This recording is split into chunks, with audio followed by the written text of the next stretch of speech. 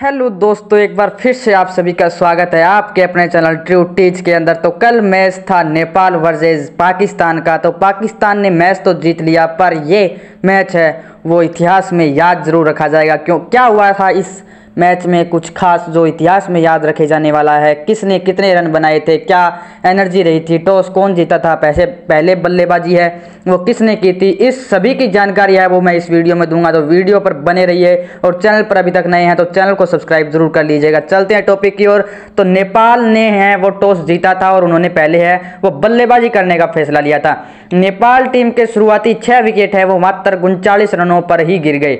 Top order में अर्जुन शोध कुशल मल्ला जी सबसे ज़्यादा सत्रह रनों का योगदान देने वाले प्लेयर रहे। शाहनवाज, दहानी और मोहम्मद वसीम जूनियर ने नेपाल के बल्लेबाजी को तहस नहस कर दिया और 16 ओवर के अंदर ही नेपाल ने बेहतर रनों पर आठ विकेट है वो गवा दिए थे। लेकिन यहाँ से सोमपाल, कामी और प्रतीश जीएम की जर्नी है वो शुरू होती है और अट्ठावन रनों की अहम साझेदारी की।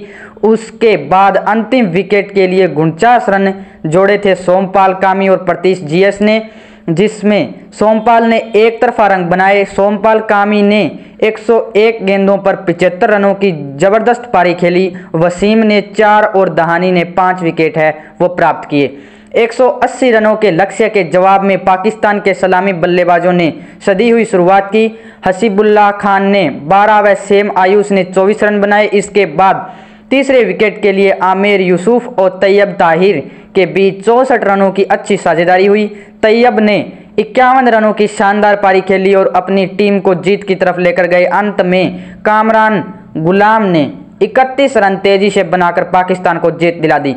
नेपाल की तरफ़ से ललित राजवंशी ने सबसे ज़्यादा तीन विकेट प्राप्त किए। पाकिस्तान का अगला मुकाबला यूएई से होगा। तो 19 जुलाई को इंडिया ए के खिताब जोरदार मुकाबला भी देखने को आपको मिलेगा। इसमें खास बात यह थी कि पहली बार ऐसा हुआ है कि किसी टीम ने शुरुआती छः विकेट प्राप्त कर लिए ओनली उनचालीस रनों पर। अभी तक ऐसा कोई भी मैच नहीं हुआ है जिसमें उनचालीस रनों पर छः विकेट हैं, वो गिर गए होंगे। ऐसा इस मैच के अंदर हुआ। इसलिए मैं बोल रहा था, ये मैच है, वो काफ़ी शानदार होने वाला है और इतिहास के पन्नों में है, ये यादगार मैच होने वाला है। तो इसी के साथ सच्ची और सटीक घटना नेपाल की जानने के लिए हमारे चैनल को सब्सक्राइब कीजिए और बेल आइकन को प्रेस कर लीजिए। धन्यवाद, मिलते हैं अगली वीडियो के अंदर।